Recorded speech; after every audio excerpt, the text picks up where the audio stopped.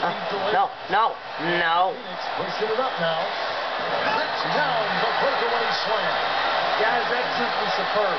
Ball pressure, a run out. Oh my. Dump in transition. You people. Impressive defense to lead to. Yeah, points in transition. Okay, That's why fine. you want to make the other team feel uncomfortable handling the ball because you can get easy points out of it at the other end.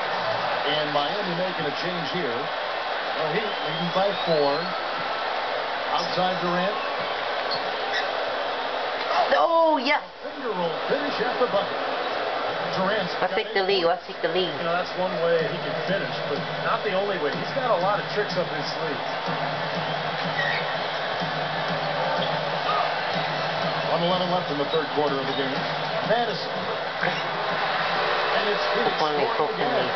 Boy, that was a rugged screen set there, fellas, and the defense didn't even try to go through that. Reed, you, you really left him open for that time? Shot is off. Oh my god, to freaking center.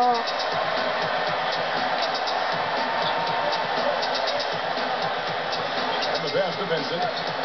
Here's Person. Vincent. Doesn't know that guy. Yeah, we go. Really high quality shot there. Oh, come on! that miss right there will definitely leave him shaking his head. Come And the Suns making a change here. We've got 28 seconds left to play here in the third. If you're playing the freaking full portal. Carries it down low. Eight points for him. There's 21 seconds left in the third. The Oh. to Durant.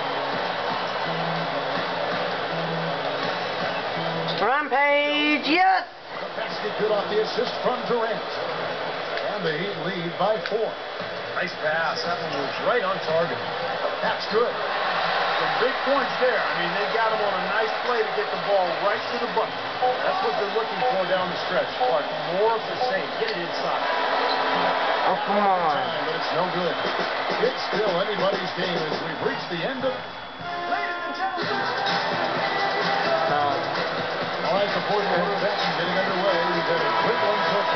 Both sides coming to play. Steph Curry is playing right now in the dope portal. I'm in the full portal. For the Heat. You know, with that fast break operating so Yo! Yo!